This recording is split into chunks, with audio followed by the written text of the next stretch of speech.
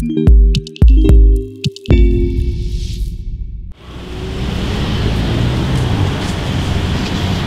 kita sekarang mengunjungi Panti Asuhan Yatim Piatu Arif Rahman Hakim.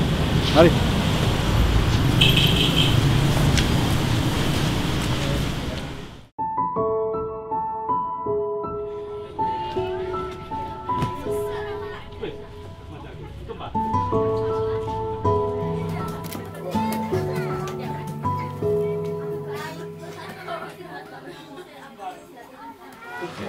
Assalamualaikum warahmatullahi wabarakatuh.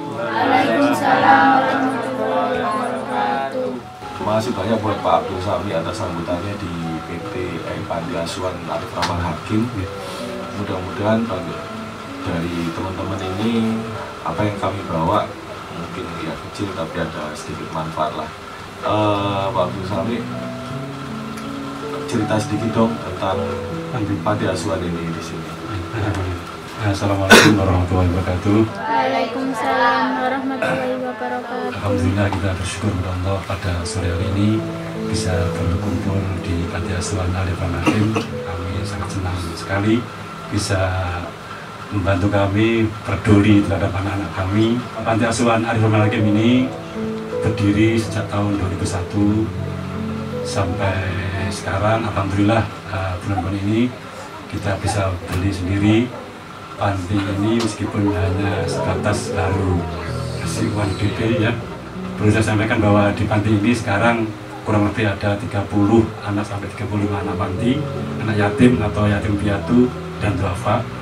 Sebagian tinggal di asrama dan sebagian banyak tinggal di sekitar kita. Nah, barangkali maaf. Ini yang atas mungkin 1 sampai 10 sudah pergi sudah keluar dari panti kemudian yang bawah tidak kami tulis karena tidak cukup anak-anak yang baru itu selama tiga tahun ada barang masuk? Enggak belum saya ganti. Wah, saya Abdul Samit sebagai ketua panti bantu beberapa teman pengurus yang aktif di sini. Kemudian insya Allah semua donatur kami dari panti ini insya Allah semua dibantu oleh dibantu oleh masyarakat untuk kebutuhan anak-anak kami.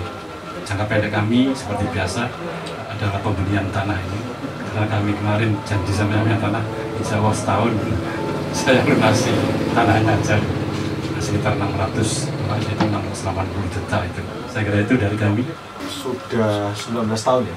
19 tahun Sudah 19 tahun. Berarti yang mentas bapaknya. mungkin tiap tahun kurang lebih antara 3 sampai 5 anak Biasanya yang di kita bantu ke mereka itu uang sekolahnya atau makannya atau Nah gini, kami di panti ini ada dua, dua, dua tahapan. Pertama adalah tahap anak-anak yang tinggal di asrama, kemudian anak-anak yang sebatas santunan. Kalau di tinggal di asrama itu kami penuhi seperti anak sendiri, kebutuhan apa pun, sekolah, jajan, buku, sampai selesai sekolah itu. Tapi kalau santunan kami hanya sebatas membantu, ya membantu ya kalau ada uang sisa, nah, macam begini ini santunan, sebantu bulanan, gitu.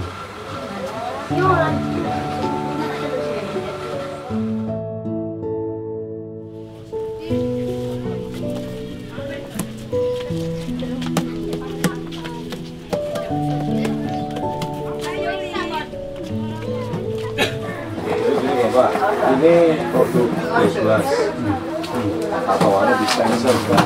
Jadi cara kerjanya nanti ini ditaruh di sini aja. Oh, ya. Di sini air satu galon masukkan, terus colokin air muter sendiri, air muter batu buat. Kurang lebih dua jam nanti bisa diisikan jadi adik-adiknya bisa minum. Ya. Ini kan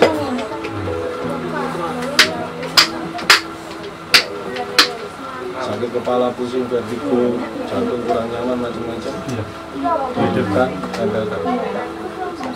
Mohon diterima ini uang cashnya. Terima kasih ya. Ya, Semoga Ya. Ya.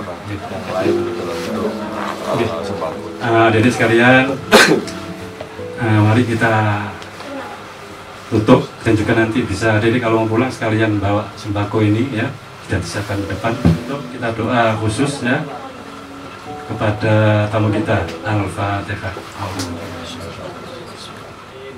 A'udzu billahi minasyaitonir rajim. Bismillahirrahmanirrahim. Allahumma ighfir lil muslimina wal muslimat wal mu'minina wal mu'minat ala khiyai minkum abad innaka sami'un qaribun mujibud da'wat wa ya qadiyal hajat Allahumma innaka afuwwun karim tuhibbul afwa fa'fu anna ya karim Allahumma rabbana atina fid dunya hasanah wa fil akhirati hasanah wa qina adzabannar. Wa qina adzabannar wa qina adzabannar. Subhana rabbika rabbil izzati amma yasifun. Wa salamun alal mursalin walhamdulillahi rabbil alamin